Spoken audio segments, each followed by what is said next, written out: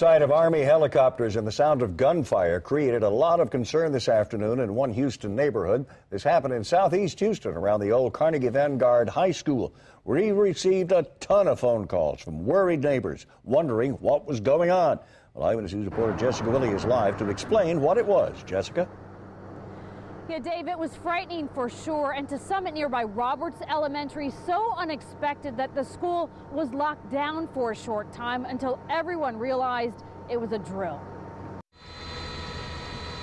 With military helicopters flying above her southeast Houston neighborhood, Frances Geralds didn't know what to think. You know, when you see this, you think the worst. Right. When you hear this, you think the worst. And so she passed along her concern. She told me, don't come home because it sounds like we're in a war zone. Guns shooting and helicopters flying around over the house.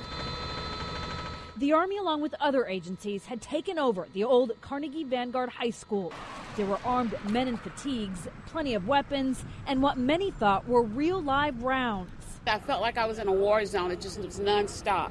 So I was terrified. Turns out it was a multi agency training drill that Gerald's wished would have come with warning. They could have done a better job at notifying the neighborhood. Others needed no explanation. If it's to protect our kids, I'm, I'm all for it.